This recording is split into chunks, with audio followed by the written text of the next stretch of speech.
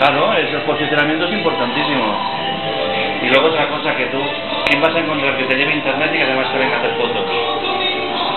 Nadie. Tú sabes cómo son los de internet, que van en plan VIP, te pegan unos palos de campeonato, no nos engañemos, pero no les digas a ellos que vengan a hacer fotos, porque los de Creavisio estaban ahí tomando copas, pero de fotos nada.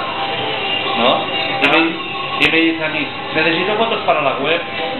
Y estoy a punto de decirles, oye, ¿por qué no las haces tú?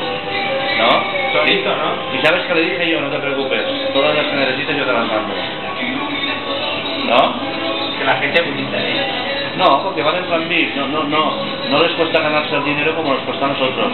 Nosotros tenemos que trabajar, ellos no. Ellos están acostumbrados a que tienen una clientela, les clavan, les engañan y luego resulta que el malo eres tú. Claro. No, no, que sí, sí. Eso lo puedes tener claro, ¿eh? No, no de internet, ¿eh? Necesitas. ¿No